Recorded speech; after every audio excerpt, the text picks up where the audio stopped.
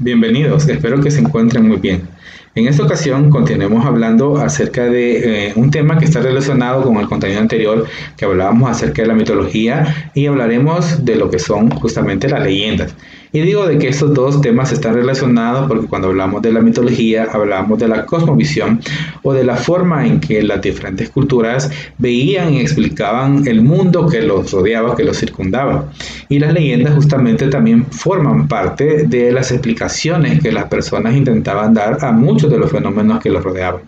Quizás la principal diferencia es que con el tiempo la mitología han sido recabadas y se han creado libros acerca de los diferentes mitos de las diferentes culturas, mientras que las leyendas aún siguen continuando o siguen siendo parte del dominio oral. Pero aparte de eso, en la actualidad sabemos de que muchas de las leyendas han sufrido modificaciones y se han actualizado al momento eh, que tenemos nosotros. Aparte, la mitología nos habla del origen de la creación de muchos dioses y en cambio las leyendas nos hablan de las interacciones que esos dioses o esas deidades tenían con la humanidad.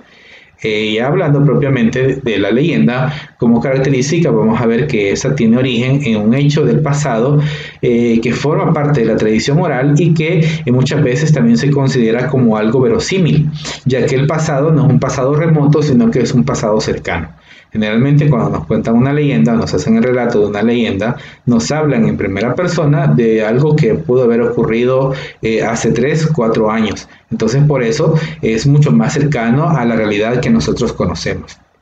se transmite de forma oral de generación en generación y obviamente a través de, los años ha ido generando o ha ido sufriendo una serie de cambios y modificaciones. Y es por eso que tenemos leyendas que son muy similares pero que en su base tienen diferentes historias como es el caso de, del, por ejemplo del jinete sin cabeza que también existe una versión que se conoce como el padre sin cabeza que nos hace relato de un sacerdote que también fue eh, justamente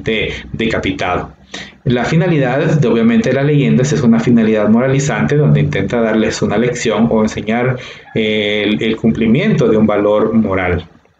Dentro de las características vamos a ver que se van a combinar justamente elementos reales con elementos fantásticos. Como les decía, como decíamos que parte, forma parte de la tradición oral y que muchas veces es contada desde una primera persona, esa persona va a contar algunos hechos que, para, que son reales, que forman parte de la realidad, pero que mezcla también elementos fantásticos parte de un hecho que fue ocurrido en la realidad o que se cree, se ficciona que fue hecho en la realidad, como es el caso, por ejemplo, de los brujos, que la gente habla de este tipo de, personas porque dice que ha tenido un contacto directo con ellos. Eh, generalmente han sido narrados de forma oral, como decíamos, y han pasado de generación en generación, y cada generación lo cuenta como si hubiese sido algo que le ocurrió directamente a él o a un familiar cercano o fue testigo de este, de este evento.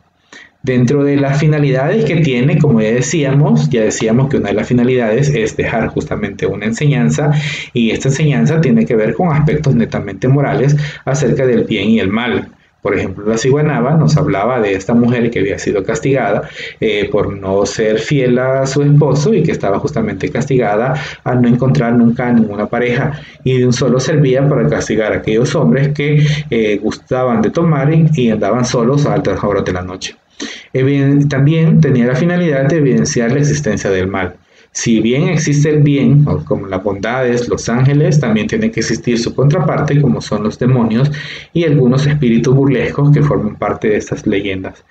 Eh, valoriza principalmente las virtudes y los sentimientos que van a ser totalmente eh, puros, ¿verdad? El amor puro, como algunas leyendas que existen de, los antepasados, como el caso de,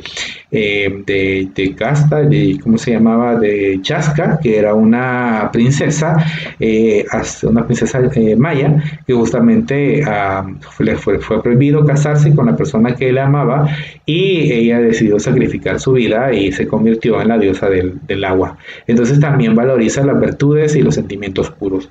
Eh, además, eh, intentaba como finalidad recordar la importancia del respeto a la naturaleza, porque muchas de estas leyendas tienen que ver con cosas naturales, a muchas leyendas que se refieren a, piedras, a culebras, por ejemplo, los nahuales como parte de esas leyendas, que eran como el animal protector que las, los, antes tenían los indígenas y que era quien las protegía de todo mal. Dentro de los elementos sabemos que vamos a tener un narrador que generalmente va a estar en tercera persona, que como decíamos va a ser una persona que va a decir que es un testigo que ha visto de, viva voz o estado en presencia de, de esa situación que narra. Además va a tener personajes reales, o sea, van a ser personas reales, conocidos, cercanos, vecinos, amigos, familiares, que fueron los que se vieron afectados por ese fenómeno sobrenatural. Va a tener un tiempo y espacio lejano, pero que cronológicamente se puede ubicar en algún momento de, nuestra historia cercana, de familiar. Además, las acciones eh, va a presentarnos a personajes eh, que van a enfrentarse a alguna situación difícil, que obviamente a través de esa situación difícil va a intentar dejarnos una enseñanza moral. Como vemos, las leyendas y